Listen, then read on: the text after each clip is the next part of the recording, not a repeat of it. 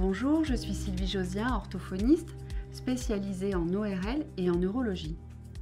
Voici 10 conseils qui vont vous permettre de limiter les risques de fausse route.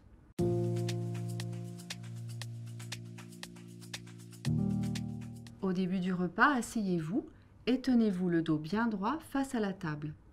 Cette position verticale permet de favoriser le transit des aliments jusqu'à l'estomac.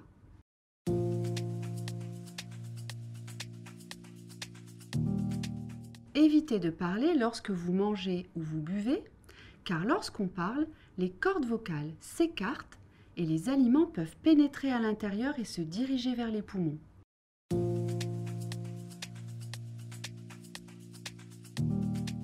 Vous pouvez également baisser votre menton sur le thorax au moment d'avaler, comme ceci. Dans ce cas, mettez les aliments ou l'eau dans votre bouche, puis baissez le menton au moment de la déglutition.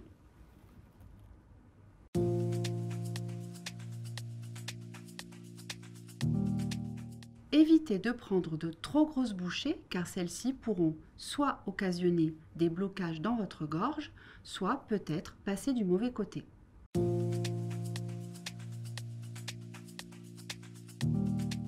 Ne finissez jamais un verre en levant votre tête. La position tête levée favorise les fausses routes.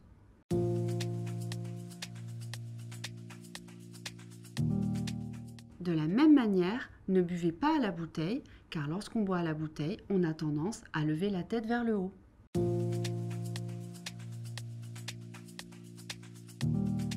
Si vous craignez une fausse route, vous pouvez bloquer votre respiration avant d'avaler. Mettez l'aliment dans votre bouche, bloquez votre respiration et avalez. Cette méthode permet de protéger les voies respiratoires avant d'avaler.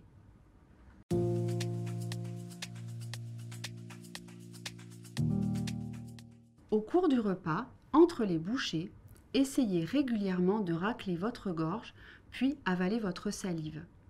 Ceci permet d'évacuer les éventuels résidus alimentaires qui pourraient rester dans votre gorge.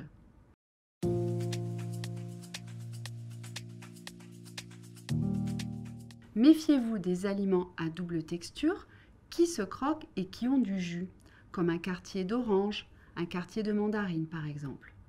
Au moment où vous allez croquer, le jus risque de se diriger très rapidement dans votre gorge avant que vous ayez déclenché votre déglutition. La fausse route pourra ainsi se produire. Si vous voulez continuer à manger ce type d'aliments, vous pouvez utiliser les conseils que je vous ai donnés précédemment. Bloquez votre respiration avant d'avaler et avaler le menton tête baissée.